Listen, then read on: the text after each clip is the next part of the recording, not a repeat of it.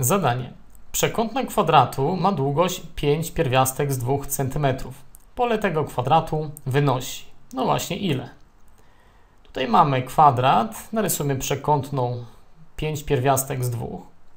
Myślę, że pamiętasz wzór na przekątną d równa się a pierwiastek z 2, gdzie a jest bokiem naszego kwadracika.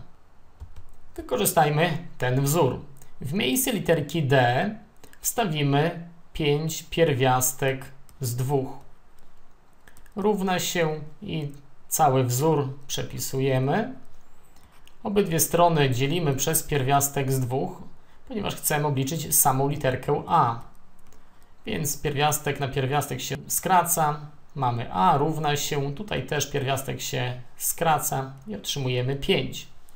Więc możemy wpisać, że boki są równe 5 Zatem pole naszego kwadracika wyrażone wzorem a kwadrat jest równe 5 do kwadratu równa się 25 cm kwadratowych.